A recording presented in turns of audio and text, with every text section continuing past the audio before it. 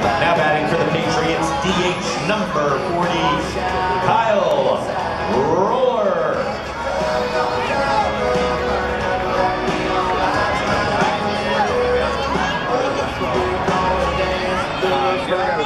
Oscar